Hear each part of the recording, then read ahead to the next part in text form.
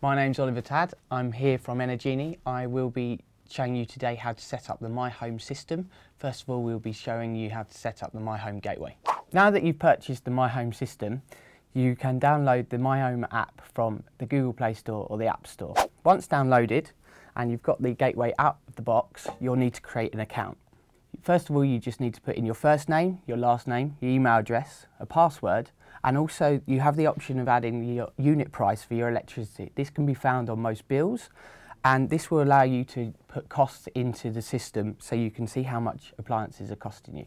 So now you've registered your account, it's a matter of setting up the gateway. The app talks you through this quite simply. First of all, take your gateway and place it near your router. Now take the power supply that comes with the box and plug into the back of the gateway. Once this is done, you should see a red light. Once you see the red light, then take the Ethernet cable, place into the back of the gateway and plug into the router. Now that the gateway is set up and you've got the green, green solid light, you go into the app and you select scan QR code.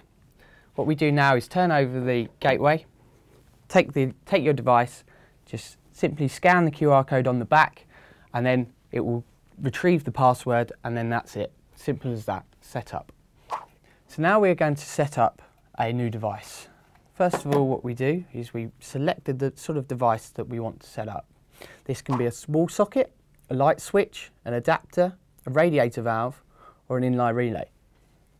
For the benefit of this setup process, we will be selecting an adapter. The adapters come in three different forms. We have a control adapter, which is just control, a monitor adapter, which just monitors, and an adapter plus, which does both.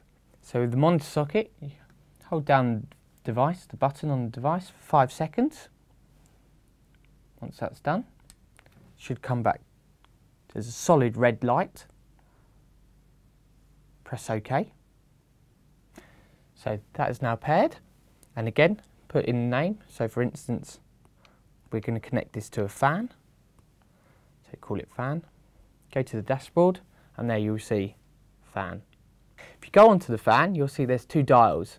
These will show you how much energy is being used by the device. So we're going to plug in a fan and see how much energy it uses. Here we have the fan and we plug it in here.